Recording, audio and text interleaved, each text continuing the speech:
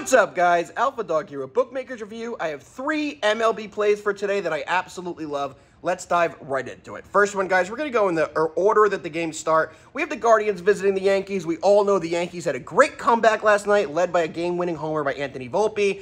Yankees are starting to get the bats going. I know they have Clarke Schmidt pitching tonight. I know the Guardians have Shane Bieber. Bieber is a former Cy Young winner, one of the best pitchers in the league, but this year he has not been great, especially on the road. The Yankees will get this done. You get a plus money, plus 108. That's game one. Game two, Orioles Royals. Tough to bet aside on this one because the Orioles are such big favorites, but I'm looking at a total spot here. The total set at nine runs. I'm taking under nine. I do think Greinke from the Royals will have a big performance. Looking at the Orioles, they have Gibson on the mound. Gibson's been good in the past. I think we could see a vintage Gibson performance. If so, this should go comfortably under the nine.